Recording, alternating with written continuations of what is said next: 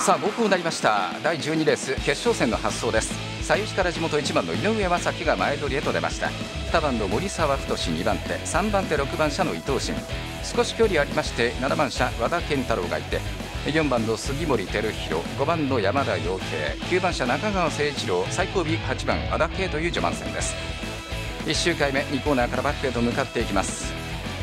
さあ車を7番車和田健太郎上げてきまして現在は3番手の外あたりなんですが九州ラインが先に前段並びを作っていきます。9番の中川誠一郎準決勝戦はチャミマ市から3着に粘りました。5番の山田陽平アグレッシブにそしてシビアな位置取り3番手ばかりの準決勝でありました。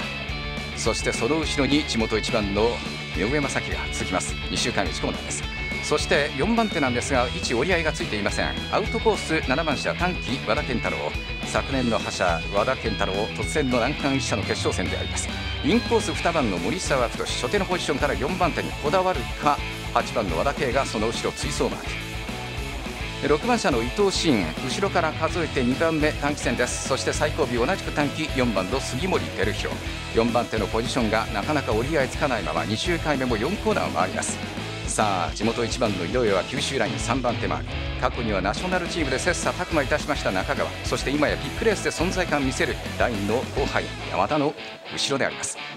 2番の森沢はここ佐世保は5月の全プロ記念競輪スーパープロピストレーサー賞に続いての記念制覇となりますが7番の和田健太郎がアウトコース並走を続けています。4番手並走をついています。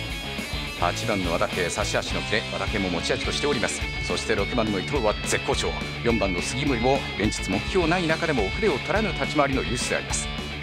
さあ3周回目の4コーナー回りました。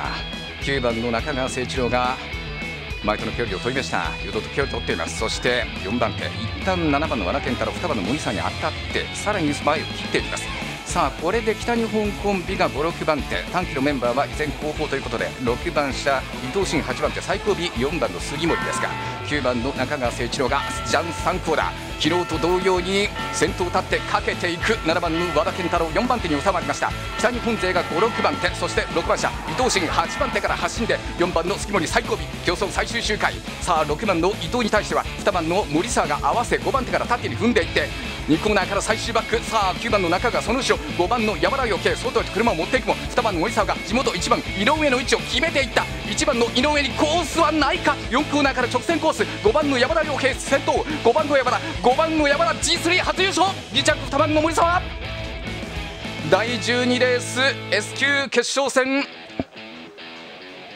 9番の中川誠一郎をかけました。5番の山田洋平そしてひたひた迫った2番の森澤がその後ろにいました1番の井上正樹のポジションうっと切り込んでいく流れ。